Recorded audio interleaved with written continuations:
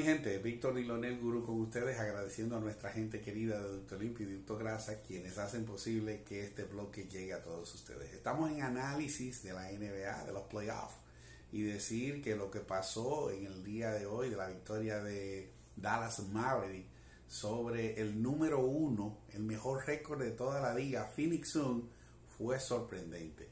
123 por 90, ganaron de 33 puntos los Dallas Maverick al equipo de Phoenix en un séptimo partido. Las expectativas, eh, según Jason Kidd, el, dirigente de Dallas, eh, de ellos eran amplias, pero no a ese nivel, señores. Y de verdad que Lucas Doncic se le lució 35 puntos para el jugador europeo, pero también desde la banca vino un aporte importante de Spencer Dinwiddie que puso 30 puntos en el juego. Al final el juego se definió temprano. Al, primer tiempo se fue ganando de 10 el equipo de Dallas 27 a 17.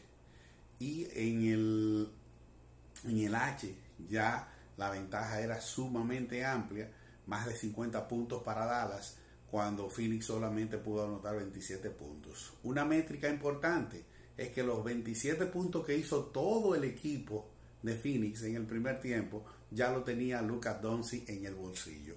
Así que un juego de verdad eh, muy a favor de la gente de Dallas y ahora ya simplemente les toca enfrentarse a Golden State Warriors que lo estaba esperando a ellos.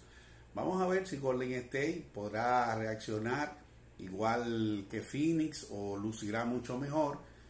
Decir que Dallas es el sembrado número 4 y se llevó al número 1 el equipo de los Golden State es el sembrado número 3, o sea que puede ser que los equipos se parezcan a menos que los Splash Brothers en su tiro perimetral y de 3 rompan ese cerco de Dallas. Víctor Dilone Gurú, mantente conmigo en las redes arroba bedilone y arroba el Gurú Sport RD.